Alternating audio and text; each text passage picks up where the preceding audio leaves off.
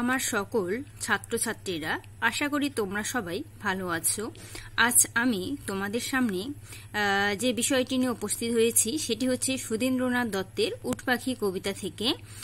তো আজ যে প্রশ্নটি আমি তোমাদের সামনে তুলে ধরব সেই প্রশ্নটি হচ্ছে, কোথায় লুকাবে ধুধু করে মরুভূমি, কোন মরুভূমির কথা এখানে বলা হয়েছে, কবি কীভাবে সেই মরুভূমির মায়া উত্তীর্ণ হতে পারবেন? তো স্টুডেন্ট তোমরা যারা নতুন ভিউয়ার বা যারা আমার এই ভিডিওগুলি দেখে উপকৃত হয়ে থাকো, কিন্তু এখনও আমার চ্যানেলটিকে সাবস্ক্রাইব করনি, তারা আমার চ্যানেলটিকে সাবস্ক্রাইব করে নেবে। সাবস্ক্রাইব করলে আমি পরবর্তী যে ভিডিওগুলো আপলোড করব, সেই ভিডিওগুলো নোটিফিকেশন তোমরা পেয়ে যাবে। তো উত্তরটি আমি শুরু করছি। বুদ্ধদেব বসু, জীবনানন্দ দাস ও অমিয় চক্রবর্তীর মতো সুধীন্দ্রনাথ দত্তের কাব্য ভাবনাতেও প্রাথমিকভাবে রবীন্দ্রানুসরণই লক্ষ্য করা যায়। তবে তার নেতিবাচক ধ্যান ধারণার পিছনে শুধু যে বিদেশি কবি, শিল্পী ও দার্শনিকেরই প্রভাব ক্রিয়াশীল ছিল এমন নয়। তার নিজস্ব অভিজ্ঞতা ও উপলব্ধিও বর্তমান ছিল। রাবীন্দ্রিক ঐতিহ্য ও যুগ চেতনার টানাপোড়েনেও সুধীন্দ্রনাথ ওই বিশেষ জীবন দর্শন গ্রহণ করেছিলেন বলা যায়।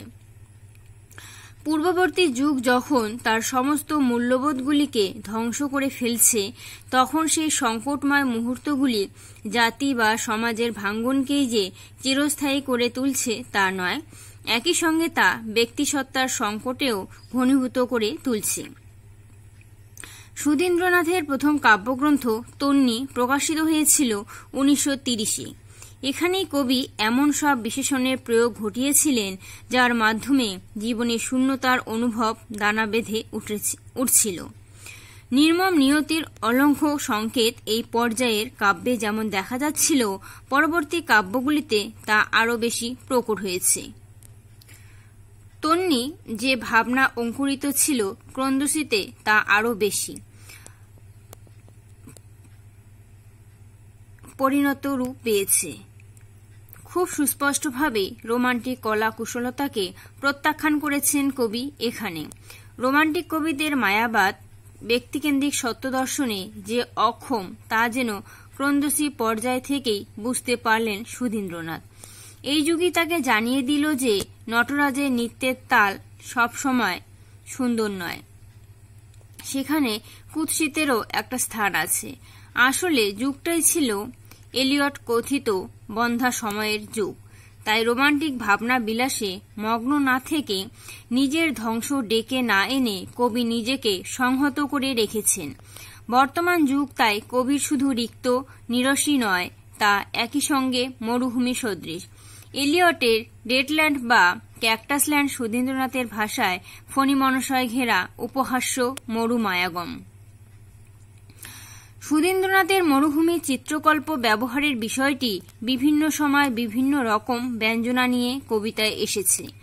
কখনো তা রোমান্টিকতার আতিশয্যজনিত কাব্যক্ষেত্রের অন্তঃসার শূন্যতাকে প্রকট করেছে, কখনো তা অজ্ঞায়তার আবর্তে পরিত্যক্ত চেতনা হিসাবে কাজ করেছে। কখনো যুগজাত বন্ধাত্বের প্রতি এলিয়র সুলভ ইঙ্গিত হয়ে উঠেছে। ক্রন্দসী কাব্যগ্রন্থের উটপাখি এমনই একটি কবিতা। মরুভূমি একাধিক ব্যঞ্জনা এ কবিতায় ওতপ্রোতভাবে জড়িয়ে আছে। বলা যায়, কবিতার মরু চিত্রকল্পের বিন্যাসে উটপাখির প্রতীকী যেন প্রাণ পেল। উটপাখির সঙ্গে মরুভূমির দান্দিকতার শিল্পিত রূপ পেয়েছে এই অংশে। এলিয়ট যেমন নিষ্ফলা যুগের মানুষকে হ্যালোম্যান আখ্যা দিয়েছিলেন, সুধীন্দ্রনাথ যেন সেই সব ফাফা নির্বোধ মানুষগুলোকেই উটপাখি চিত্রকল্পে দেখালেন। পুরানো মূল্যবোধ ভেঙে দিয়ে পরিবর্তিত যে জীবনবোধ গড়ে উঠেছে, সেখানে ক্ষয়িষ্ণু মধ্যবিত্ত মানুষ কঠোর সত্যের সম্মুখীন হতে ভয় পায়।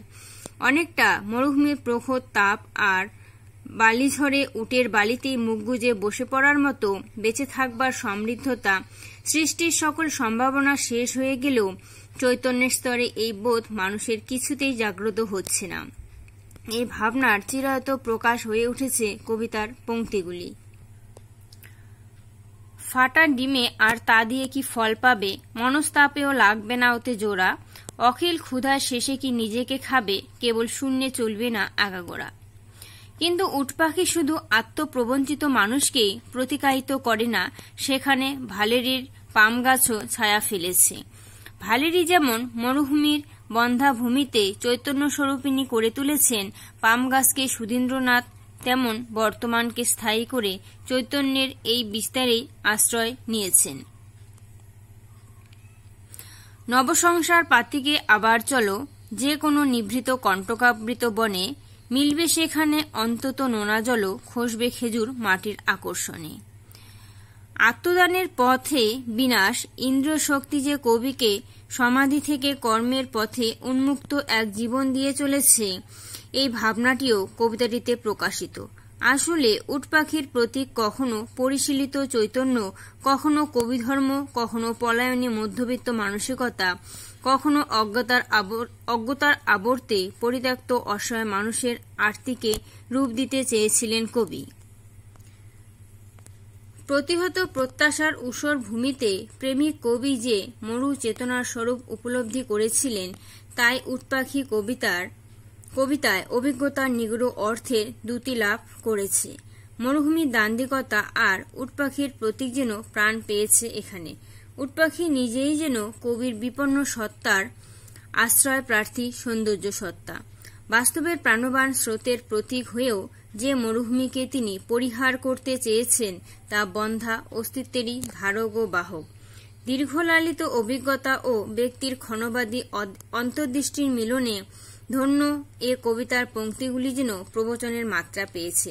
শুধু তাই নয়, ব্যঙ্গ বিদ্রুপের সঙ্গে গভীর জীবন মমতার উৎসেচন ঘটেছে বলেই কবিতাটি রস বৈচিত্র্য লাভ করেছে। পৌর প্রেমিকের অচরিতার্থ প্রেমের স্মৃতির নিরর্থকতায় যেন বাণীমূর্তি পেয়েছে এই অংশে। মরু কল্পনার সান্নিধ্যে উটপাখি কবিতাটি গুড়ার্থ সঞ্চারী একটি ব্যঞ্জনা লাভ করেছে বলা যায়। স্টুডেন্ট নোটটি এখানে শেষ হলো। তোমাদের এর আগেও উটপাখি কবিতা থেকে আমি একটি নোট দিয়েছিলাম। সেটি আমি এই ভিডিওটির ডেসক্রিপশন বক্সে লিংক দিয়ে দেব। সেখান থেকে তোমরা দেখে নেবে। আর অন্য যে কবিতাগুলো আছে, টপ্পা ঠুংরি সে কবিতাগুলোরও নোট দেওয়া আছে।